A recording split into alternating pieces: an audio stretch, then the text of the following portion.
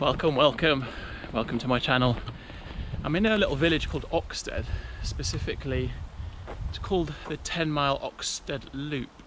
Oxted is a small village in Surrey and it's a very old village. The plan is to do at least part of the 10 mile loop and then string up a tarp somewhere. There's some forest, there's a common sort of east of the village. String up a little tarp, cook a little bit of lunch and just show you guys around. So Oxted indirectly means place where the oaks grew. And so just kind of looking around, it's a lot of kind of beech trees, some oaks, and then a lot of silver birch as well. And loads of these ferns.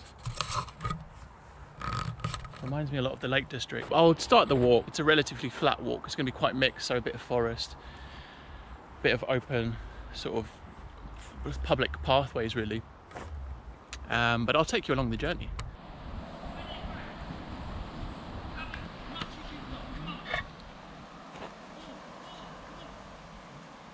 Classic dilemma coming up.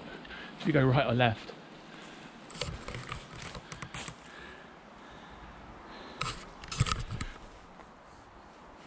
There's no one to play with. I'm going to go right. going right. Executive decision made.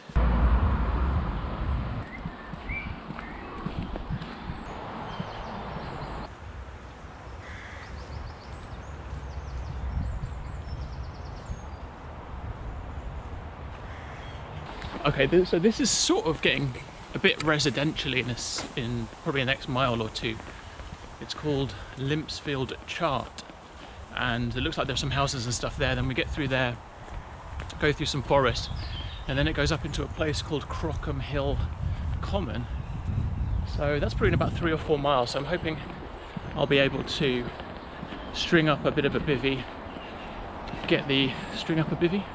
String up a tarp and get the bush box out, cook some lunch. As lovely as this is, really can't wait to get out camping. It's been a long, long time and I think everyone's got their eyes on the 4th of July, which is when, for those people in the UK, it's when sort of the hospitality sector is due to open at the earliest. So that's kind of where everyone's thinking the camping will be allowed. So fingers crossed.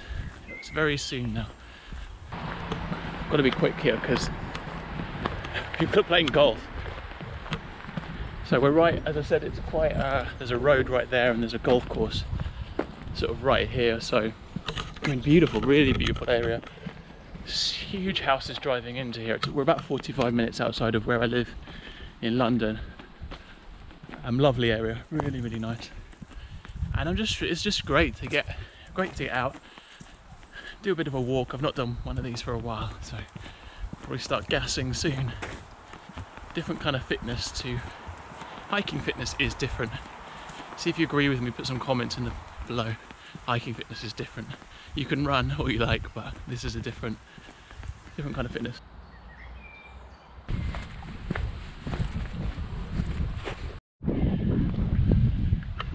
Excuse the wind. We've opened up into this farmer's field stunning view. Sorry, hills.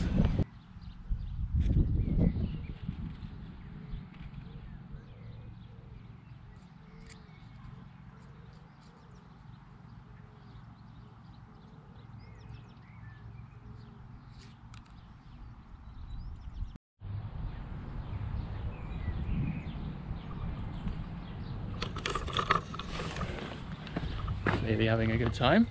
It's got quite roady, just a small stretch. We follow the road and then we turn right up into the common through some woodland. Such an amateur, the, this was digging in and I was thinking, why is this digging in? And the strap was twisted. I'm still used to the old pack, you see. Had an Osprey Talon before this. So, readjusted now. So we're back among the trees. I think there's a slight gradient now. We go up into a place called the High Chart. So into the forest and then so it's east of the village of Oxted and Limpsfield. Then we go up into, eventually into Crockham Hill Common, if I'm not mistaken, slightly, probably three miles further on, and that's kind of the apex or the the sort of the furthest east point of the loop, and then we're back. We go back on ourselves. I'm going to try and find somewhere now to to sit and have a spot of lunch. Get the books, get the bush box out. See if we can find somewhere. So there's enough. It's quite quite dense woodland, but um, I think we'll be able to find somewhere.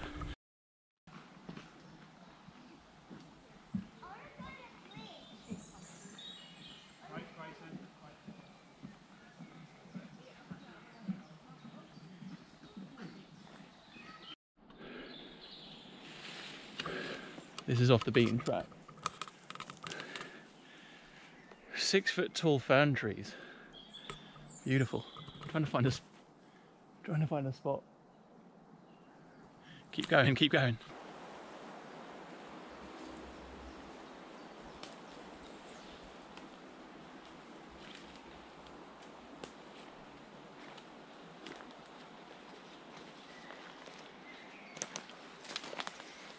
Okay, I found somewhere among all the tall ass ferns and beautiful trees. There's a little kind of opening slightly.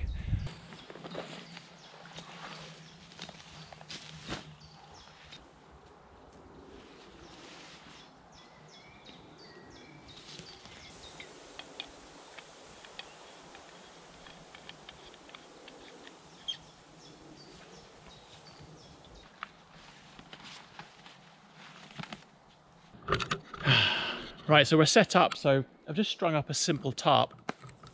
I've used the cord, two walking poles just to tie each end of the tarp, and then I've tied it around each tree just to give me a simple shelter. It's not supposed to rain, but who knows, who knows. There was a little bit of rain this morning, so just in case. And it's nice to have a bit of shelter. I've set everything up. I've just got some basic stuff. As I said, I'm going to cook some lunch. I'll show you what gear I've got. I know what you're thinking. It's not the most camouflage of tarps, but it's cool, I like it. Little grey number. So here's my gear. Down here, so we've got plenty of water, about a litre and a half of water there. Banana.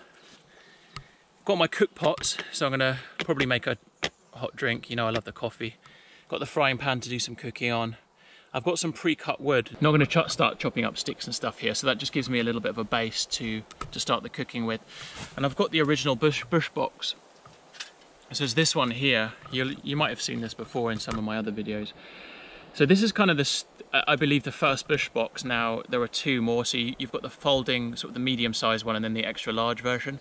So this is the smaller one. With hindsight, I probably should have got the larger one. Just in terms of packability, it folds down, down you can fold it whereas this one I never actually I never actually take it apart because it's it's quite like I guess the metal warps to a degree so it's quite hard to kind of take apart and it, it eventually folds down flat but I just generally leave it in this state and just take it with me like this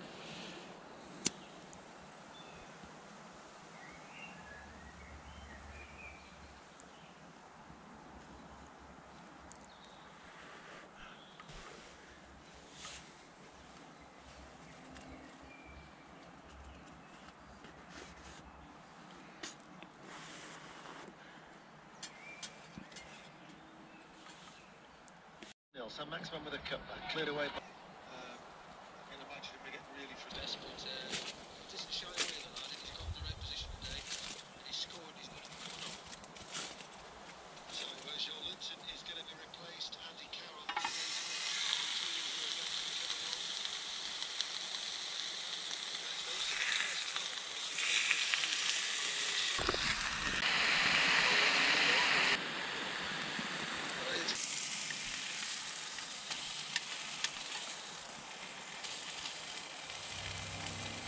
I got my fire lighter cubes. They're just those small kind of tiny cubes that you will have seen that just make lighting a fire much easier. And I went through all of my lighter fluid trying to light basically these things and it just it's, it's not going to work because they're too large. So I, I fortunately there's some silver birch around here and I was able to, to collect some silver birch bark, scrape some of the dust off of that and just slowly get it get the fire going. But that probably took about an hour. Um, so that was a lot harder than it looked, but good learning experience. Anyway, the pork shoulders are on, or the pork medallions, cooking nicely, so I'm going to tuck into them in a minute. I managed to get some dried fern and just ruffled it up a little bit just to dry it out a little bit more. There's not a lot of the kind of foliage around here is, is very damp because there's not much sun coming through so even the birch bark was very sort of um, wet so it took a while to get that going but succeeded.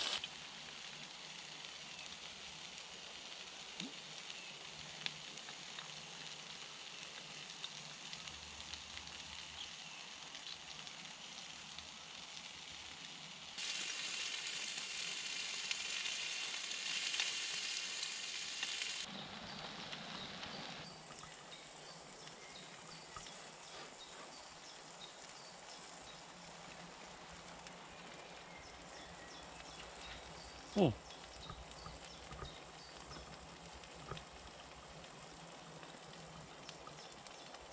Mm, cooked.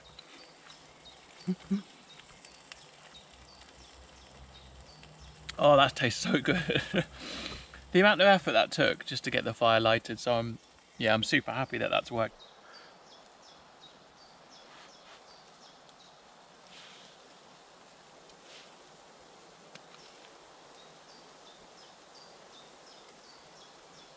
Yeah, tip is probably get a slightly larger one for those kind of things. If, if they were kind of, maybe if it was like pork belly, slices or bacon is fine, eggs.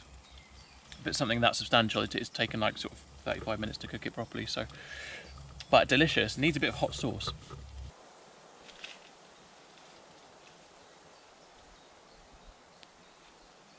Right, that was lovely. Nice bit of food, nice water, no coffee for once, and a nice banana again, like the last video. It's time for me to pack up now, so I'm gonna get rid of this stuff, leave no trace and all that. And I'll bring you back in a sec. Right, all packed away. It's my bag of rubbish, which I'm gonna take with me, leave no trace. And my pack down there. Things I've learned are, don't forget your fuel capsules, because without those, tough to get a fire going.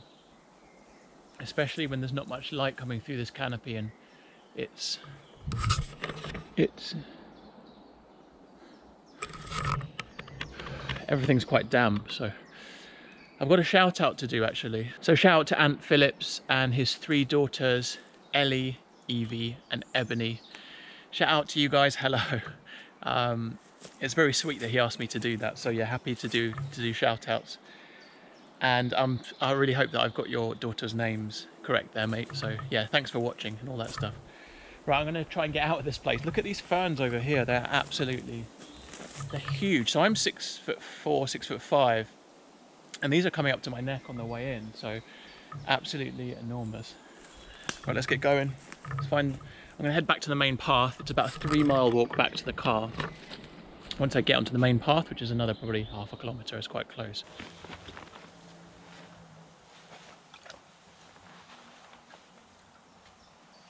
Right guys, I think that's where I'm going to end it, just on the way back to the car. So don't forget to subscribe if you're new around here. Hit the thumbs up if you like the content. Hit the bell notification so every time a video is released you'll get a notification. Thanks so much for watching. Thanks for all the comments. Drop some comments below. I love sort of responding to all of the comments and talking to you guys about what kit you use and what you think of the videos. So I'll see you on the next video. Take care everyone. Cheers.